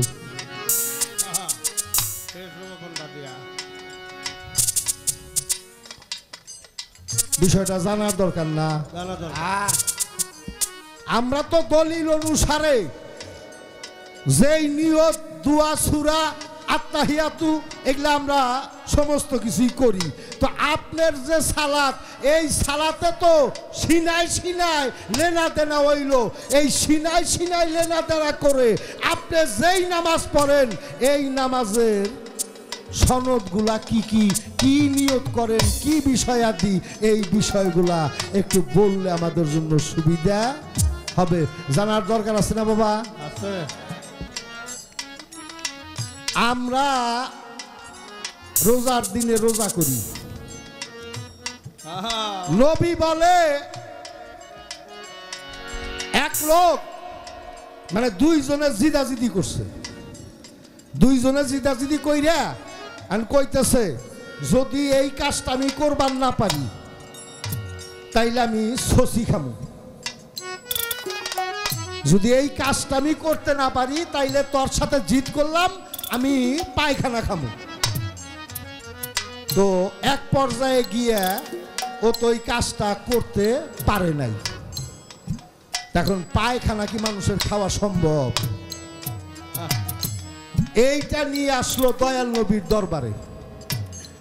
আইসা দয়াল নবীজির কাছে বলতেছে, হুজুর গো, আমি তো একটা ভুল কইরা, ভুল কথা বইলা ফেলাইছি।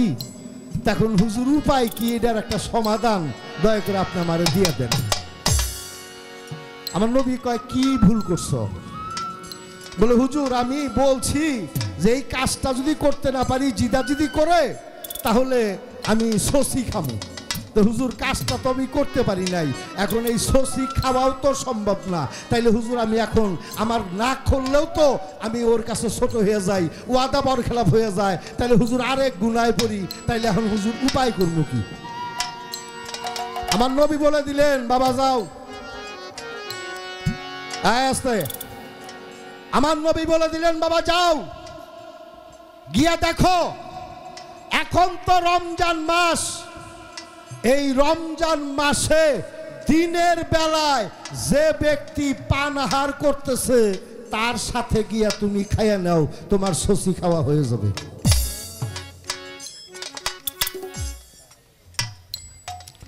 রোজার দিনে দিনের বেলায় যে ব্যক্তি পানাহার করে ইহা কোরআন অনুযায়ী সম্পূর্ণ হারাম। আমাদের পানাহার থেকে বিরক্ত থাকতে হয়। ও বাজান, আপনি গো মারফতের মধ্যে বলে রোজা আছে। আমরা তো শেষ রাত্রে সেহেরি খাই, আবার সন্ধ্যায় ইফতারি খাই। এই সারা দিন না খাইয়া থাকি। আপনি গো মারফতের রোজা বললে আলাদা ধরনের এই মারফতের রোজাটা কি বে? এটা কি দিনে খাইয়াই থাকে না হারা দিন রাইতি না খাইয়া তারপরে রোজা থাকে? ফকিরাই বলে পারে না যে দিনেও খায় না রাইতেও খায় না। এটার এক বাপ আর সকালে সেহেরি ইফতারি সেহেরি ইফতারি এই দুইটার মধ্যেই হয় না এইটার নিয়মের বাইরেও কোনো নিয়ম আছে? বাবা দয়া করে একটু বললে আমরা একটু খুশি হব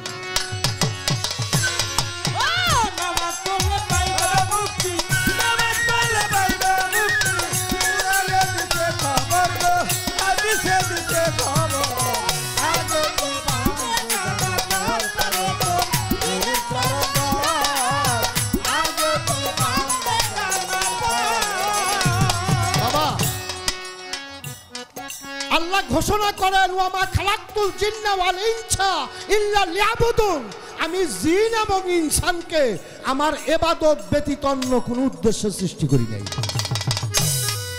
বাবা, কার এবাদত কখন যে আল্লাহর কাছে ভালো লাগে? কোনটা ভালো লাগে? এটা কেউ জাহেরি করে বলতে পারবে? না। আমার হজরত বেলাল উনি ছিল হাফসি গোলাম। আমার দয়াল নবীর কালেমা পড়াতে হাফসি গোলাম বেলালকে এমন অত্যাচার করত। দশ মনোজনের পাথর বেলালের বুকের উপরে দিয়ে আরবের মরুভূমির মধ্যে সিট করে শুয়ে রাখত। আর ডেকে ডেকে বলতো, বল, এই কালেমা সত্য না, এই কালেমা মিথ্যা।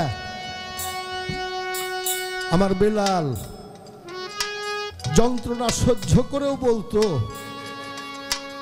আমি আমার নবীর কালেমা পড়েছি, এই কালেমা আমি জীবনে ভুলতে পারব না, আমার জীবন গেলেও না। বাদশা ডেকে কয়, তোর মারবো না, তোর মরণ হবে না, তোর মুখ দিয়াই স্বীকার করাবো যে এই কালেমা ভুল, এই কালেমা সত্য না। বাবা কেউ যদি কাউকে তেমন ভাবে বিশ্বাস করে, তার জন্য সব করতে পারে। বেলাল যখন এই কথা বলেছে, বাদশাহ বলল, তাহলে তোর অত্যাচারের মাত্রা আরও বাড়িয়ে দেব। সাত দিন পরে একটু পানি। পিঠের মধ্যে চাকু দিয়ে কেটে কেটে তার মধ্যে লবণ মেখে উত্তপ্ত গরম বালুর উপরে শুইয়ে রাখত। এই কথাটা কোন এক সাহাবে এসে আমার নবীর কাছে বলল, হুজুর, আপনারা না দেখে ভালোবেসেছে এমন একজন মানুষ আছে। হুজুর আমরা তো আপনার সাথে থাকি। কিন্তু হুজুর এমন একজন মানুষ আছে যে আপনার কাছে আসতে পারেনি, আপনার নাম শুনেই আপনাকে ভালোবেসে। সে যে জীবন দেওয়ার উপযোগী হয়ে গেছে, হুজুর গো, আপনি তাকে একটু রক্ষা করবেন না। দয়ালের নবী আমার। দয়ার সাগর যিনি জিজ্ঞাসা করে, আমার উন্মতের কি শাস্তি? বলে, এই হুজুর এইরকম অবস্থা। তার নাম কি? হাফসি গোলাম বেলাল। আমার নবী বসে বসে দুই নয়ন বাড়ি দিয়াছে সারিয়া। কে উদ্ধার করে আনবে আমার বেলালকে দুনিয়ায় থাকিয়া।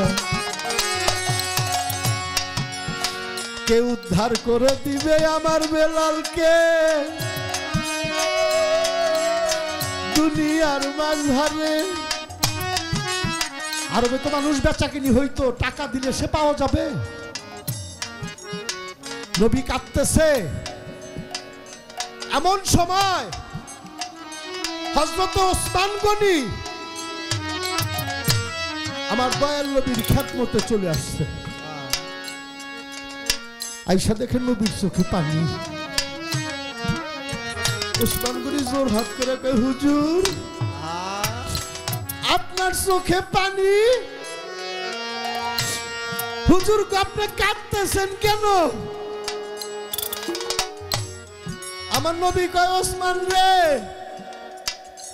এই জগতের মধ্যে আমার এক ভক্ত। বড় এতিম হইয়া মরণের যন্ত্রণা সইতেছে। ওই মরুভূমিতে যাইয়া আমি কি আর সইতে পারি? আমি কি আর সইতে পারি?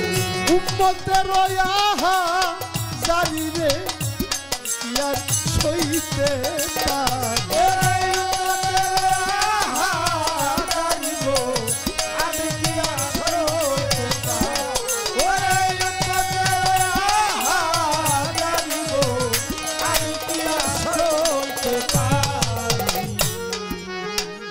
যাহারে ভালোবাসে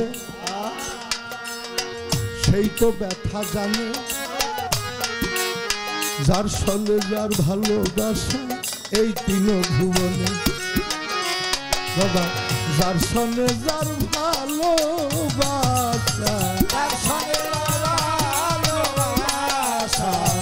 দেখলে পুরা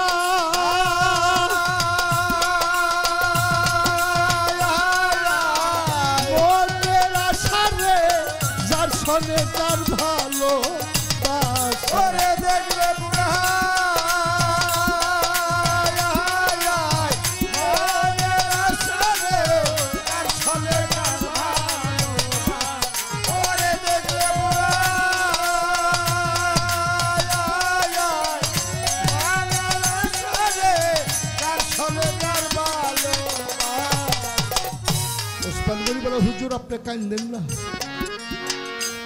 আমি আপনার বেলালকে আপনার কাছে দিব রে আনিয়া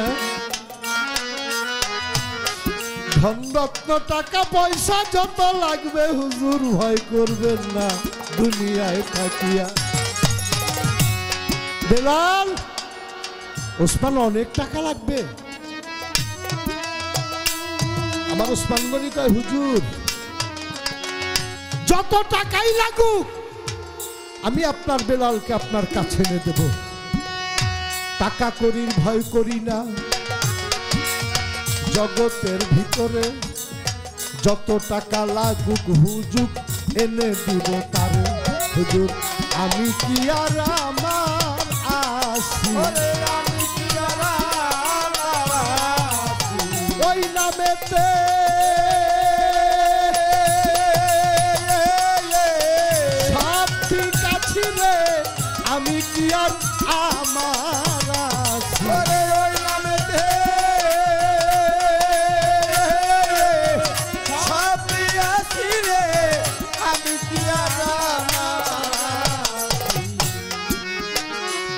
নাম যে এত মধু। ভাবি নাই জীবনে আমার নবীর নামে পাগল যারা হইছে এ ভুবনে। আমার দয়াল নামে পাগল যারা। দয়াল নামে পাগল দারা দেখলে চেনা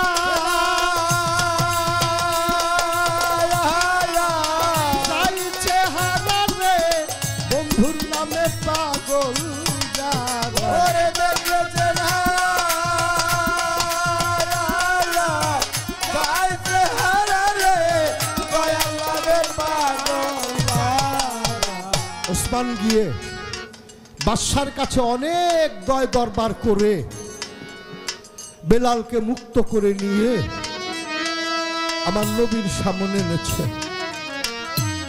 বেলাল হাঁটতে পারে না। অনাহারে থেকে থেকে হার মাংস একত্র হয়ে গেছে। চলতে পারে না। দয়াল নবী বেলালকে দেখে বলতেছে, ডাকিয়া আইরে বেলাল, আমার বুকে দুনিয়ায় থাকিয়া বাবা, আইরে বেলাল, আমার বুকে আইরে বেলালা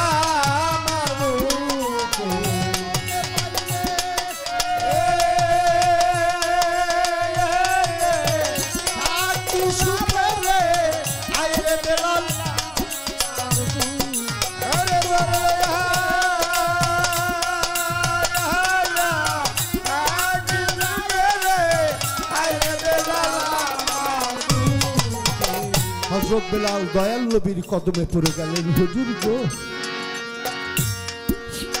যাই যাবে মোরে জীবন, তাতে ক্ষতি নাই। নিদান কালে যেন দয়াল তোমার দেখা পায়। যাই যাবে মোর জীবন চলে তাতে ক্ষতি নাই নিদান কালে যেন নবী তোমার দেখা। দয়াল সেদিনে যাইও না ভুলে সেদিনে যাইও না ভুলে। এই মিনতি রই গো সেদিনে যাইও না ভুলে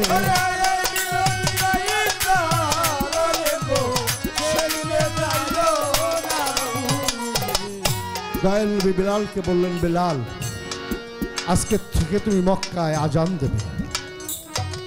আমি তোমাকে মুয়াজ্জিনের ভার দিলাম। বেলাল আজান দেয়। এখন বেলাল ছিল হাফসি গোলাম, কথাটা একটু তোকলাই আসতো। এইটা দেখে একদিন উম্মর খাত্তাব বলতেছে, হুজুর বেলাল রাজা আমার ভালো লাগে না। আমার নবী কয়, কেন? বলো, কথা তোতলাইয়া বলে, ওরা যেন আমার ভালো লাগে না। তাই? কি করতে চাও তুমি? বলে, হুজুর, কালকের ফজর রাজানটা আমি দেব। কালকের ফজর রাজানটা আমি দেব।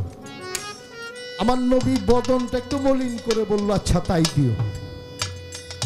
ফজর ওয়াক্ত হয়েছে তখন ঘড়ি নেই। ফজর ওয়াক্ত হয়েছে। আজান দিতেছে আল্লাহু আকবার আল্লাহু আকবার। দয়াল নবী ফজরের নামাজ আদায় করলেন। বৈশাখে সূর্য আর উঠে না। নবী ভাবলো, ব্যাপার কি? ফজর নামাজ পড়ার পরেই তো সূর্য উঠে। আজকে সূর্য উঠল না কেন? তাহলে মনে হয় আজানটা একটু আগে হয়ে গেছে। তাই তো ওয়াক্তের নামাজও ঠিক হয় নাই। তুমি আবার আজান দাও। আবার আজান দিয়েছে। দয়াল নবী আবার জামাত পড়েছে। কিন্তু সূর্য আর উঠতেছে না। একে একে তিনবার। তিনবার যখন আজান দিয়ে নামাজ পড়েছে, এই মুহূর্তে জিব্রাইল আমার দয়াল নবীর সামনে দাঁড়িয়ে কয়, হুজুর, আজকে মক্কায় আজান হইল না কেন? আজকে মক্কায় আজান হইল না কেন? মক্কার আজান শুনে আল্লাহ সূর্যকে হুকুম করে উদিত হওয়ার জন্য সূর্যোদয় হয়। হুজুর আজকে মক্কার থেকে আজান। আমার আল্লাহ শোনে নাই, তাই হুজুর এখন পর্যন্ত সূর্য উদিত হয় নাই। আমার নবী গাজিব্রাইল কও কি, তিন তিনবার আজান হয়েছে। জিব্রাইল কয়, হুজুর আজান কে দিয়েছে? উম্মর দিয়েছে। কয়, হুজুর উম্মরের আজান। আল্লাহর দরবার পর্যন্ত পৌঁছায় নাই।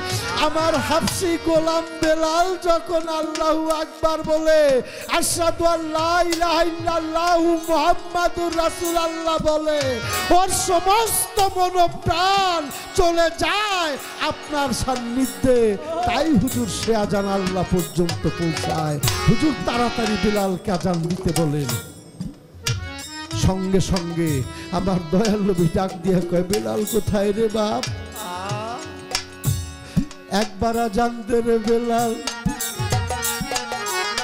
মক্কার মিনারে হুকুম পাইয়া বেলাল যাইয়া আজান দিল পরে। ওই দিন সূর্যোদয় হয়েছে, জোহরের নামাজের ওয়াক্ত। এই আজানের জন্য, আজানের মহাব্বতে, আজানের প্রেমে আল্লাহ সূর্যকে উদয় হওয়ার হুকুম দেয় নাই। হাসরের মাঠে সবচাইতে উঁচু ব্যক্তিটা, সোয়া হাত উঁচা যে ব্যক্তি থাকবে, এই ব্যক্তির নাম থাকবে হজরত বেলাল। সে মুয়াজ্জিন আজান দিয়ে এমন সম্মান অর্জন করেছিল আল্লাহর দরবারে। বাবা, এবাদত কখন কাটটা আল্লাহর যে ভালো লাগে, কখন যে কোন এবাদত তার পছন্দ হয়, এইটা বাবা আমরা বলার অপেক্ষা রাখে না। তো বিষয়টা হইল এমন, তো সেখানে দাঁড়িয়ে একটি গান আমি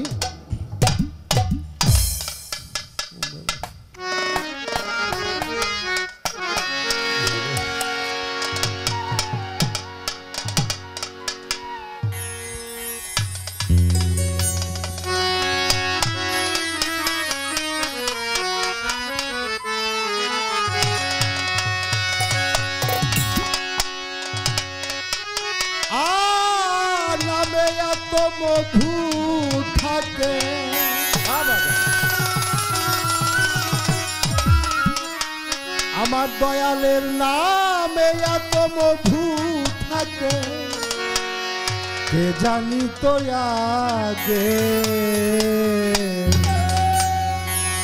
আমার মুহাম্মদ নাম যতই জ্যোতি, আমার হাবিবের নাম যতই জ্যোতি, আমার দয়ালের নাম যতই জ্যোতি, ততই মধুর লাগে। মোহাম্মদ নাম যতই জ্যোতি নামে এত মধু থাকে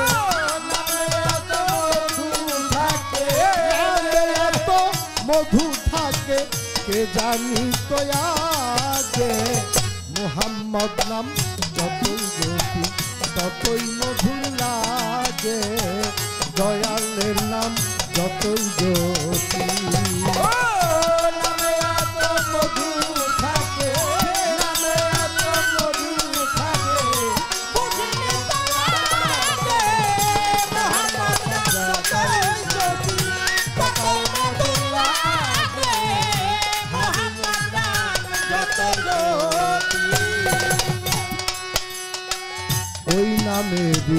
মধু চাহি মন ভোমরা বেড়ায় গাহি ওই নামেরই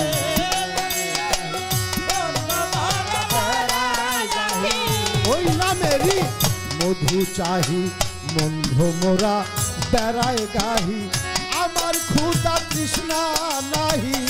আমার ক্ষুদা তৃষ্ণা নাহি। আমার ক্ষুধা তৃষ্ণা নাহি ওই নামের অনুরাগে।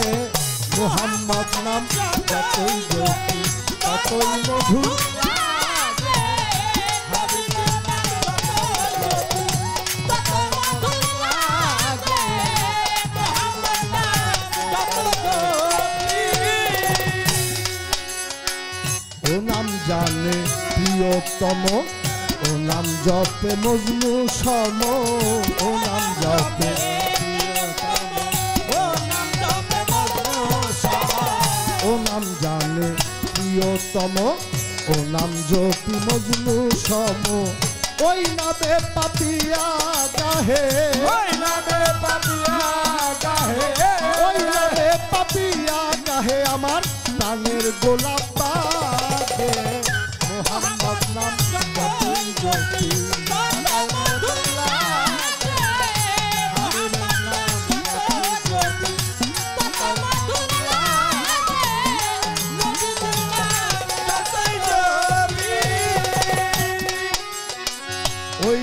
নামে মো সাফির চাহি, তাই না তত্ত্ব সাহেন শাহি ওই নামে মো সাফির রাহি, চাই না তত্ত্ব সাহেন শাহি নিত্যয়ে নাম ইয়ায়ে লাহি নিত্যয় নাম ইয়ায়ে লাহি যেন রীতে জাগে মোহাম্মদ নাম যতই